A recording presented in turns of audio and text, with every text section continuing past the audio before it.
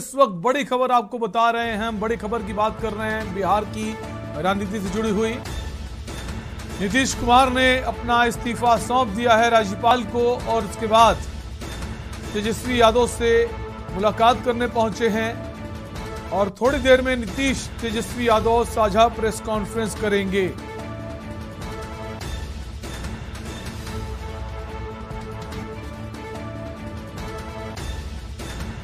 इस अलायंस को टूटने के कई सारे कारण बताए जा रहे हैं। कहा जा रहा है फैसला लेने की जो स्वतंत्रता थी, वो नीतीश कुमार को इस बार अलायंस में नहीं मिली। क्योंकि इस चुनाव में जो सीटें हैं, वो बीजेपी की ज़्यादा थी, जेडीयू की कम थी। इसलिए भले ही मुख्यमंत्री के तौर पर नीतीश कुमार को ज़िम्मेदारी दी गई हो, लेकिन बीजेपी ने नियंत्रण जो है, वो बरकरार रखा। दोनों डिप्टी सीएम जो हैं, तारा किशोर प्रसाद की बात करें, रेणु देवी की बात करें, उनको साथ में रखा गया। तो एक छत्र नेतृत्व को जो है, चुनौती देने की कोशिश बीजेपी की तरफ़ से की गई। हालाँकि नीतीश कुमार चुप बने रहे, लेकिन जो दर्द है वो बाद में सामने आया भी। इसके अलावा भाजपा ने नीतीश कुमार के लंबे समय तक साथी और पूर्व डिप्टी सीएम सुशील मोदी को भी बिहार की राजनीति से बाहर कर दिया।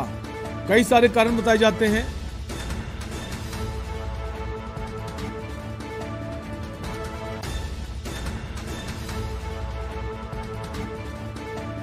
भाजपा के इन कदमों की वजह से नीतीश के लिए सरकार पर पूरी तरह से नियंत्रण रख पाना काफ़ी मुश्किल हो रहा था। सुशील मोदी जो है, सुशील मोदी जो पहले भी डिप्टी सीएम थे और पुराने साथी नीतीश कुमार के, उनकी गैर मौजूदगी में नीतीश के लिए अपनी मर्ज़ी से कैबिनेट मंत्रियों को चुनना भी कठिन रहा है। तो एक छत्र जो राज होता है, वो नीतीश इस बार नहीं कर पाए। फैसलों में कहीं ना कहीं रजामंदी ज़रूरी होती थी। स्वतंत्र रूप से फैसले लेना नीतीश के लिए मुश्किल हो रहा था। जो जेडीयू के बाकी नेताओं को भी अखरने लगा था। इस साल मार्च में भाजपा और जेडीयू के बीच रिश्तों में और दरार आई। इसकी पहली झलक झलक जो है, विधानसभा अध्यक्ष विजय सिन्हा और नीतीश कुमार के बीच नोकझोंक हुई थी। तो कई सारे कारण हैं। जो अलायंस टूटा है और इस्तीफा सौंप दिया है नीतीश कुमार ने, तेजस्वी यादव से मुलाकात करने उनके घर पहुँचे हैं। थोड़ी देर में दोनों ही नेता प्रेस कॉन्फ्रेंस करेंगे।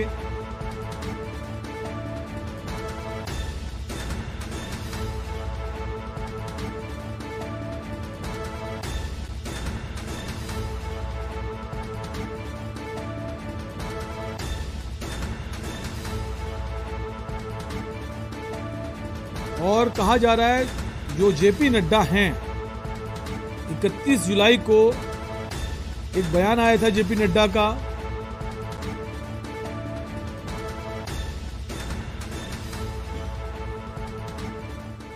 तो नीतीश कुमार जो हैं, तेजस्वी यादव के घर पहुँचे हैं, बातचीत हो रही, कुछ ही देर में दोनों साझा प्रेस कॉन्फ्रेंस करेंगे। हम इसी खबर पर लगातार बने फ़िलहाल वक्त एक ब्रेक का है, फ़ौरन लौटेंगे। आप देख रहे हैं के न्यूज़ खबरों का सारथी। आज़ादी के अमृत महोत्सव के तहत 13 से 15 अगस्त तक एक स्पेशल मूवमेंट हर घर तिरंगा का आयोजन किया जा रहा है। तिरंगा हमें जोड़ता है, हमें देश के लिए कुछ करने के लिए प्रेरित करता है। आइए आज़ादी के अमृत महोत्सव का जश्न मनाएँ घर घर तिरंगा फहराएँ।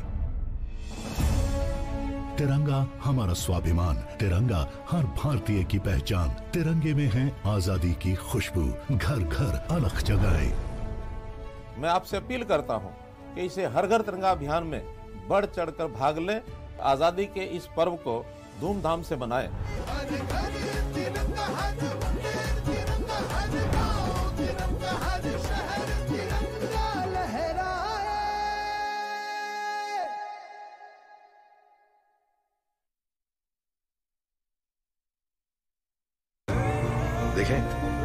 कौन नया खिलाड़ी आया है?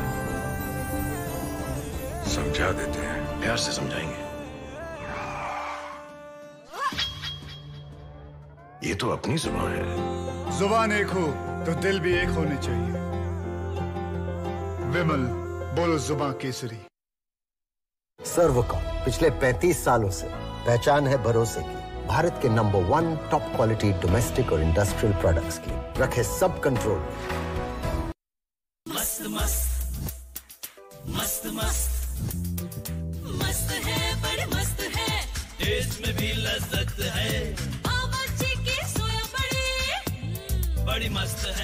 है न्यूट्री सोया बड़ी। इसमें है हाई प्रोटीन जो खाने को बनाए एक हेल्थी डाइट और टेस्ट में? है। जहाँ इंडिया करे सेलिब्रेशन वहाँ होए टशन का जश्न। राजश्री इलायची टशन का जश्न। आप देख रहे हैं के न्यूज़ खबरों का सारथी। ब्रेक के बाद एक बार फिर आपका स्वागत है और हम बात कर रहे हैं बिहार की राजनीति से जुड़ी हुई। नीतीश कुमार ने इस्तीफा सौंप दिया है और अब वो तेजस्वी यादव के घर पहुँचे हैं, उनसे मुलाकात करने। बैठक जारी है। कुछ ही देर में दोनों ही नेता प्रेस कॉन्फ्रेंस करेंगे। तो बड़ा सियासी घटनाक्रम हुआ है बिहार में। बिहार के मुख्यमंत्री नीतीश कुमार ने इस्तीफा सौंप दिया है और साथ ही साथ दावा भी पेश किया है। जैसा कि हम कह रहे थे कि आज ही दावा भी पेश किया जा सकता है। और 160 विधायकों की बात कही है पत्र सौंपा है। इसी खबर पर हमारे साथ कांग्रेस पार्टी के बिहार के प्रवक्ता असित नाथ तिवारी जी जुड़ गए हैं। असित नाथ जी, बड़ा घटनाक्रम, और इससे कहीं ना कहीं ये माने कि जो महाराष्ट्र में पिछले दिनों को हुआ, जहाँ शिवसेना और बीजेपी की तलखी देखने को मिली, उसके बाद बीजेपी सत्ता में आ गई, उससे सबक लिया नीतीश कुमार ने। और नीतीश कुमार को ये लगने लगा है कि 2024 के पहले आ, कहीं हम ऐसी मज़बूत स्थिति में ना रहें और जैसा कि पहले देखने को हुआ। तो कई चीज़ों से सबक लेकर नीतीश कुमार ने फैसला लिया है।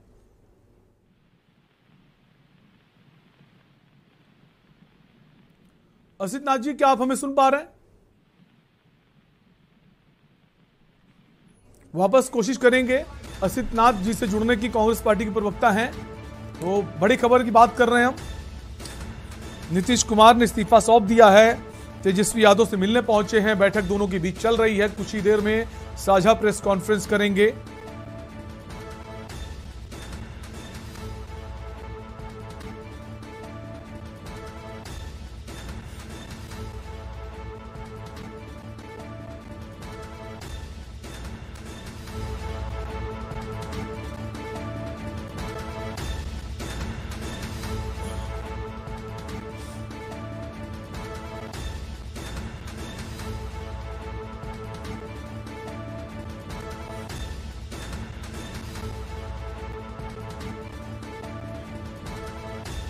राबड़ी आवास पर इस वक्त नीतीश कुमार पहुँचे हुए हैं।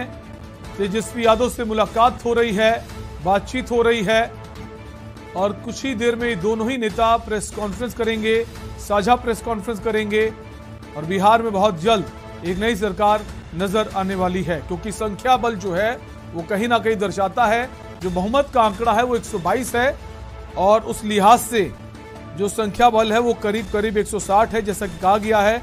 160 विधायकों का पत्र जो है, समर्थन पत्र वो राज्यपाल को सौंपा गया है।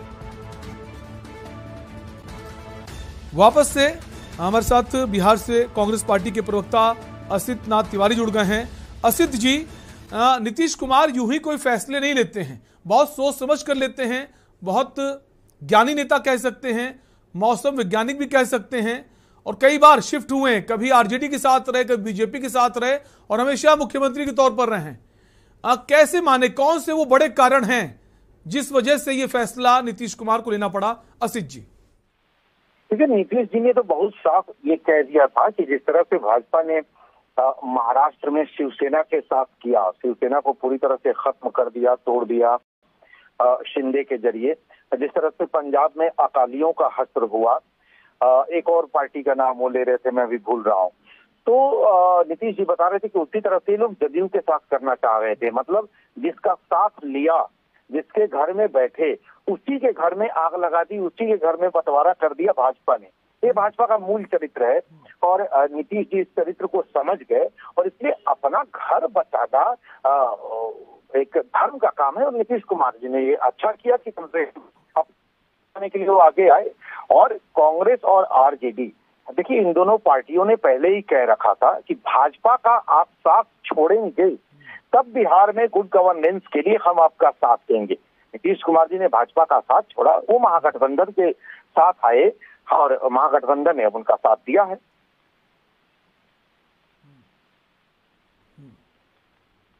असित जी, जैसा आप कह रहे हैं कि कांग्रेस और आरजेडी दोनों ही साथ में हैं कांग्रेस की भूमिका के बारे में अगर महाराष्ट्र की बात करें, वहाँ भी कांग्रेस ने कहा था कि हम बिना शर्त समर्थन कर रहे हैं। यहाँ भी वही बात है। कांग्रेस पार्टी साफ़ कर दिया, बिना शर्त के समर्थन है। हालाँकि शर्तें तेजस्वी यादव ज़रूर रखेंगे। तो कांग्रेस की कोशिश कहीं ना कहीं यह है, हम भले मज़बूत ना हो पाए, लेकिन बीजेपी को मज़बूत ना होने दें। कांग्रेस की लड़ाई सीधा बीजेपी से निश्चित तौर पर, निश्चित तौर पर इस देश की आज़ादी की लड़ाई के पहले हम उस विचारधारा के खिलाफ लड़ रहे थे। आज देखिए, अगस्त क्रांति दिवस है और आज के दिन आपका ये सवाल बहुत अच्छा इसलिए है कि जब अगस्त क्रांति का ऐलान हुआ, भारत छोड़ो आंदोलन का ऐलान हुआ तो जो जनसंघ है, उसने भारत छोड़ो आंदोलन का विरोध किया। पश्चिम बंगाल समेत तीन राज्यों में मुस्लिम लीग के साथ जनसंघ की सरकार चल रही थी। पश्चिम बंगाल में सरकार की गृह मंत्री थे और उन्होंने अंग्रेज़ी सरकार को लिखित भरोसा दिया था कि वो पश्चिम बंगाल में भारत छोड़ो आंदोलन सफल नहीं होने देंगे और उत्पातियों को कड़ी से कड़ी सजा देंगे। वो भारत छोड़ो आंदोलनकारियों को उत्पाती कहते थे श्यामा प्रसाद मुखर्जी। तो हम तो इस विचारधारा के खिलाफ शुरू से खड़े हैं। हमारी जो हालत हो जाए हम इन देश विरोधी गद्दारों को ताकतवर नहीं होने देंगे अंग्रेज़ों के इन दलालों को ताकतवर नहीं होने देंगे। सांप्रदायिकता की आग में झोंककर देश के दो टुकड़े करने वाले इन गद्दारों को ताकतवर नहीं होने देंगे। किसी भी सूरत में नहीं होने देंगे। ये तो हमारा शुरू से मकसद है। जी कहीं ना कहीं आपको लगता नहीं कि 2020 में जो नतीजे आए बिहार में विधानसभा चुनाव में वहाँ कहीं ना कहीं जेडीयू जो है बीजेपी से काफ़ी पीछे रह गई। और जेडीयू को उस वक्त भी जेडीयू का कई नेताओं को बयान आया कि विधानसभा के चुनाव में बीजेपी के जो लोग थे उन्होंने जेडीयू कैंडिडेट को हराने की कोशिश की कई सीटों पर। आ, तो नीतीश कुमार को यह भी लग रहा था जो 2020 में हुआ वो 2024 में ना हो उस ये भी बड़ा कारण है कि जेडीयू चाहती 2024 के जब लोकसभा चुनाव हो तो हम मज़बूत स्थिति में हो ना कि बीजेपी फिर से ज़्यादा सीटें ले जाए हमें पीछे कर दे। भाजपा तो धोखेबाज पार्टी है। आप देखिए पंजाब में अकालियों के साथ क्या किया? शिवसेना के साथ क्या किया? आप देखिए कि यहाँ नीतीश के साथ ये क्या करने जा रहे थे। आप देखिए, रामविलास पासवान जी जो उनके सहयोगी रहे, उनके मरते उनके बेटे के साथ भाजपा ने क्या किया? क्या सलूक किया? तो धोखेबाजों की पार्टी है ना? तो 2020 के चुनाव में अपने सहयोगी जदयू के साथ ही धोखा कर दिया। चुनाव के बाद सरकार चला रहे, जदयू को हित तोड़ने की साजिश करने लगे। तो इन धोखेबाजों से बच के कोई रहे, इनसे अलग हो जाए, इनको अपने दरवाजे से भगा दे, इसमें क्या गुनाह है? लेकिन असित जी नीतीश कुमार भी, भी कोई दूध के धुले नहीं है। हमेशा दो लड्डू लेकर चलते अपने हाथ में। दोनों हाथों में लड्डू उनके रहते हैं। मुख्यमंत्री वही नज़र आते हैं चाहे आरजेडी के साथ हो चाहे बीजेपी के साथ हो। क्या इस बार नीतीश कुमार को अपनी भूमिका बदलनी होगी? क्योंकि अक्सर हमने देखा है ड्राइवर वही रहते हैं सवारी बदलती रहती तो क्या इस बार ड्राइवर भी चेंज होगा? और क्या होना नहीं चाहिए? क्योंकि राजनीति में कुछ भी संभव है। अगर 2024 को देखें पास तो क्या जो महागठबंधन है, उसका एक बड़ा चेहरा नीतीश कुमार हो सकते हैं, और इसलिए अभी से वो जो मुख्यमंत्री है, वो तेजस्वी यादव को ज़िम्मेदारी दे दें। देखिए, अब भविष्य में कौन क्या करेगा, राजनीति में किसी को पता नहीं होता है कि एक वक्त भाजपा के लौह पुरुष लाल कृष्ण आडवाणी हुआ करते थे, लेकिन गोवा अधिवेशन के बाद वो ओल्ड एज होम में चले गए। भविष्य की राजनीति कौन जानता है? भविष्य की राजनीति मुझे भी नहीं पता कि नीतीश कुमार जी भविष्य की राजनीति में कहा होंगे तेजस्वी यादव जी भविष्य की राजनीति में कहा होंगे। मैं कोई भविष्य वक्ता नहीं हूँ। कांग्रेस में कोई भविष्यवक्ता नहीं बैठा है।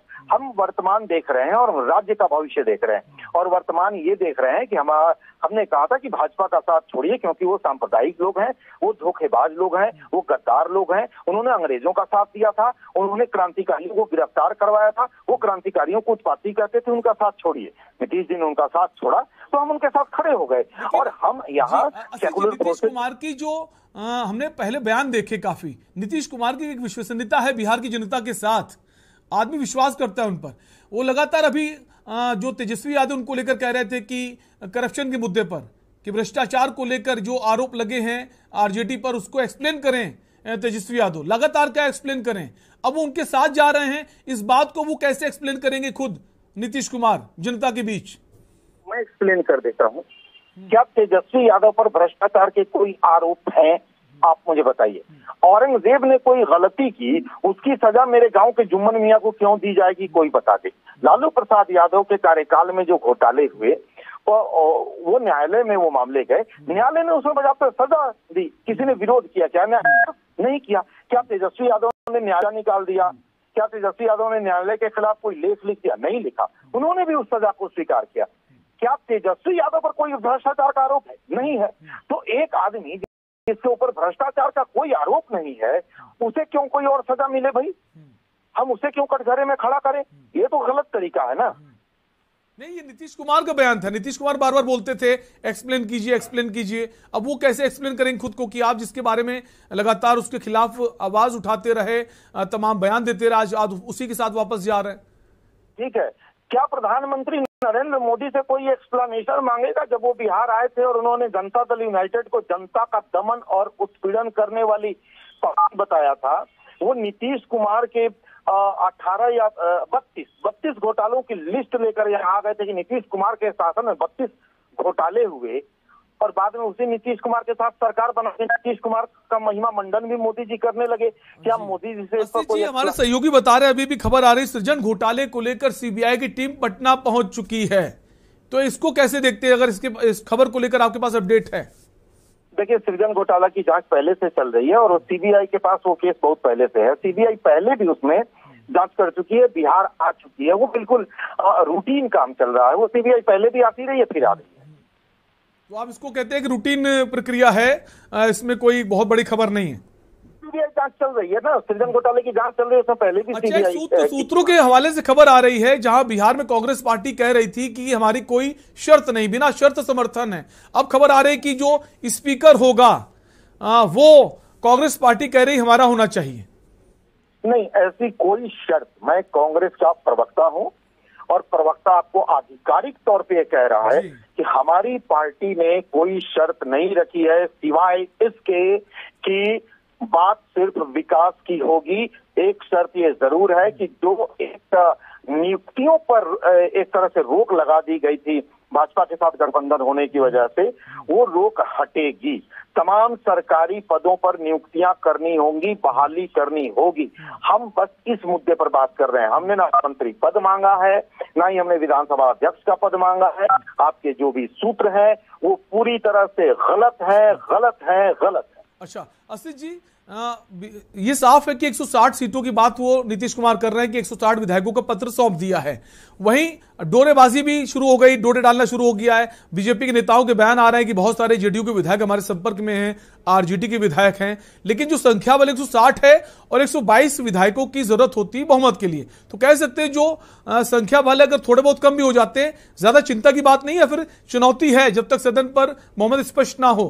एक चुनौती है अपने विधायकों को साथ बनाए रखना आरजेडी के लिए भी कांग्रेस के लिए भी और नीतीश कुमार के लिए भी। अच्छा, ये कितना आसान है बयान दे देना। मैं आपसे बात कर रहा हूँ मैं कह दूँगा कि प्रधानमंत्री नरेंद्र मोदी ही मेरे संपर्क में हैं वो कांग्रेस में आना चाह रहे हैं और वो गुजरात का फिर से मुख्यमंत्री बनना चाह रहे हैं गुजरात में चुनाव है। अब इस तरह का बयान कोई भी दे सकता है। भाजपा के संपर्क में अगर जदयू के नेता हैं तो संपर्क में क्या लिट्टी चोखा खा रहे हैं? क्यों नहीं भाजपा में चले गए? ये क्या बकवास है भाई? ये सब देखिए झूठ बोलना अफवाह फैलाना ये आरएसएस का मूल एजेंडा रहा है। गोबलवादी हैं आरएसएस के लोग। वो उनका सिद्धांत यही है कि एक झूठ बोलो उस झूठ को स्थापित करने के लिए उसको सैकड़ों बार दोहराओ और उसे स्थापित कर दो। वो अपना काम कर रहे हैं भाई झूठ बोलना ही उनका काम है। उनको करने दीजिए इसमें क्या कर सकते हैं आप? आपको लगता है स्पष्ट तौर पर सरकार बनने जा रही है आरजेडी और नीतीश कुमार और कांग्रेस की? यहाँ कोई ऐसा कुछ नहीं, संख्या जो बल है, वो कम होने वाला है। कोई संख्या बल कहीं कम होने वाला नहीं है। 160 विधायकों की सूची राज्यपाल को बस थोड़ी देर में सौंप दी जाएगी। थोड़ी देर में। हम लोग बस राबड़ी जी के आवास से निकलने ही वाले हैं, राजभवन जाने वाले हैं। और थोड़ी देर में हम लोग उनको आ, आ, उनके सूची सौंपी जा चुकी है। थोड़ी देर में लोग चुकी जी जी जो 160 विधायकों का जो पत्र है समर्थन का वो सौंपा जा चुका है। अब चुनौती है जो 160 विधायकों का समर्थन पत्र है वो एक संख्या 160 ही रहे उससे कम ना हो। उस दिशा में ध्यान देना होगा। वो एक सौ साठ यहाँ बैठे हुए हैं। चलिए बहुत बहुत मुबारकबाद आपको। बिहार में कांग्रेस पार्टी एक बार फिर से कहीं ना कहीं नज़र आने वाली अलायंस में बहुत बहुत शुक्रिया समय निकालने के लिए असित जी। तो बड़ी खबर आपको इस वक्त बता रहे हैं, बिहार की राजनीति से जुड़ी हुई। तेजस्वी यादव के साथ नीतीश कुमार की बैठक जारी है। और अब जो खबर है, वो रवाना हो चुके हैं आवाज़ से। थोड़ी देर में नीतीश, तेजस्वी यादव प्रेस कॉन्फ्रेंस करने वाले हैं। साझा प्रेस कॉन्फ्रेंस थोड़ी देर में होने वाली है। सीएम आवास पहुँच गए हैं नीतीश कुमार। तो राबड़ी आवास से सीएम आवास पहुँच गए हैं। महागठबंधन के नेता बने नीतीश कुमार। तो कांग्रेस पार्टी, आरजेडी और जेडीयू एक साथ महागठबंधन के तौर पर नज़र आ रहे हैं और महागठबंधन की ज़िम्मेदारी नीतीश कुमार को दी गई है। महागठबंधन के नेता नीतीश कुमार हैं। थोड़ी देर में प्रेस कॉन्फ्रेंस होने वाली है।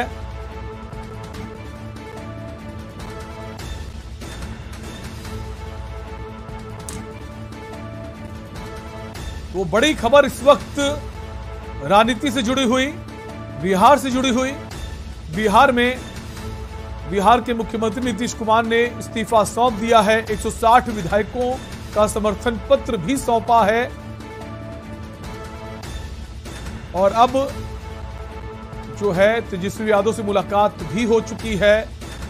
अब प्रेस कॉन्फ्रेंस थोड़ी देर में होने वाली है। दोनों ही नेताओं की साझा प्रेस कॉन्फ्रेंस होगी।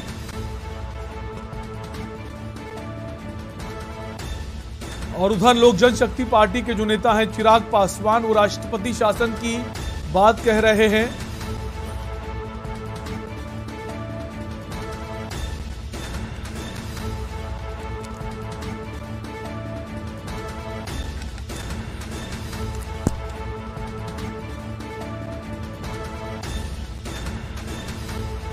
कई सारे कारण बताए जा रहे हैं इस अलायंस को टूटने के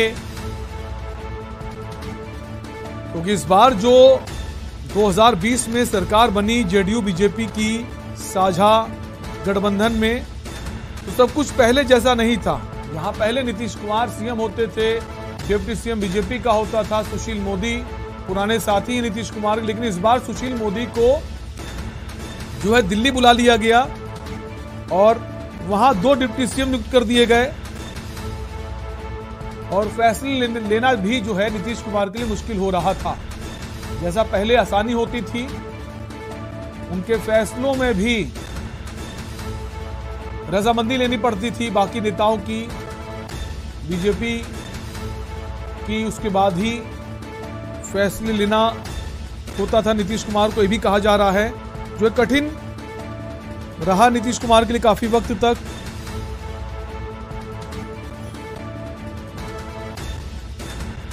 और जो जेडीयू के नेता हैं, उनको ये अखरने लगा, स्वतंत्रता ना मिलना, जेडीयू के नेताओं को भी खराब लगने लगा था। और बीजेपी एक मज़बूत ताकत के रूप में बिहार में नज़र आने लगी थी। इस बार का जनादेश जो था, उसमें भी बीजेपी की बहुत ज़्यादा सीटें थी, हालाँकि जेडीयू से ज़्यादा थी, आरजेडी से थोड़ी सी कम थी। सिर्फ़ दो सीटें बीजेपी की जेडीयू से कम थी। माफ़ कीजिए, आरजेडी से कम थी। 77 सीट्स जो थी बीजेपी की इस बार थी। लेकिन जेडीयू जो है, कहीं ना कहीं काफ़ी पीछे रह गई इस बार। लेकिन सीएम नीतीश कुमार ही रहे। चाहे सीटें कम हो, चाहे सीटें ज़्यादा हो बिहार में सीएम के चेहरे पर हमेशा नीतीश कुमार नज़र आए हैं। और उनकी आइडियोलॉजी जो है, वो भी थोड़ी हट के है। आरजेडी और बीजेपी से अलग आइडियोलॉजी है नीतीश कुमार की। और कई बार हमने देखा एनडीए की तरफ़ से कई सारे बयान आते हैं और उन बयानों से अलग अपना बयान नीतीश कुमार दे देते हैं। कहा यह जाता नीतीश कुमार नहीं चाहते कि उनका जो खास वोट बैंक है उनसे नाराज़ हो।